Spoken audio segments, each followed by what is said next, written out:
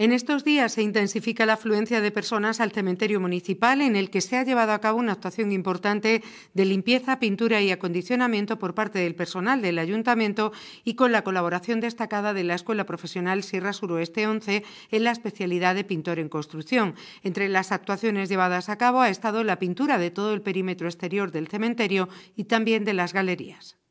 Ya el, ya el año pasado eh, quisimos intentar hacer algo, un, acondicionamiento, digamos, de un lavado de cara, lo que se pueda ver.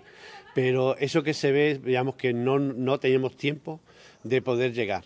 Luego ahora también hemos tenido también alguna serie de problemas, porque mm, ya no solo, eh, digamos, preparar lo que es el cementerio para, para esta fecha, sino que también debíamos de contar con ese apoyo de la escuela profesional porque ellos también tenían ya otros trabajos que tenían que realizar y tenían que llevar a cabo, porque eso eh, lo tenían hecho ya ellos en su programa. Por eso quería volver a, digamos, a, comentar ese gran esfuerzo que ellos han hecho.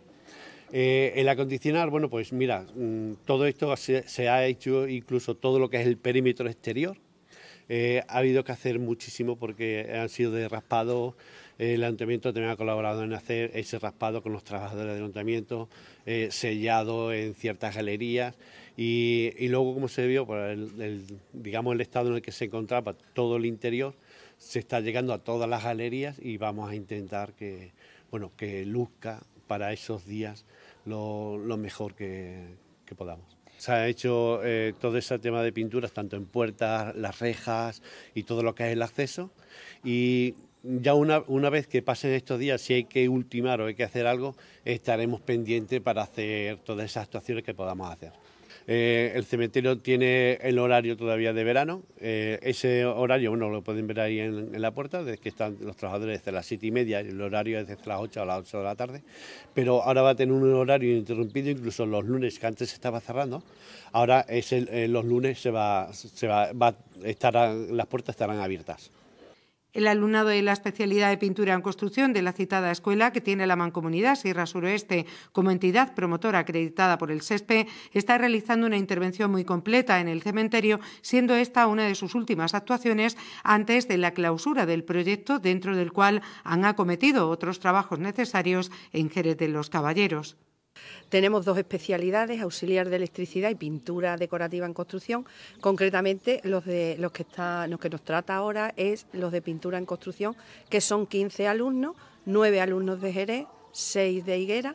Y bueno, como veis, lo podéis comprobar, están trabajando a destajo para poder finalizar y que, que luzca, como bien ha dicho Sebastián, todo lo bonito que se pueda este tipo de edificio. Anteriormente, como tú has dicho, Paula, hemos estado actuando en varios edificios de la localidad de Jerez, edificios importantes para el pueblo, como es el convento de San Agustín, que en un principio empezamos con las cubiertas, impermeabilización de cubiertas, y luego estuvimos pintando también el claustro, aparte vuestro edificio de la radio. Eh, también hemos hecho actuaciones en los dos colegios, pintando los patios. Hicimos también la pintura del eh, Centro de Profesores y Recursos, con la ayuda también del personal del ayuntamiento.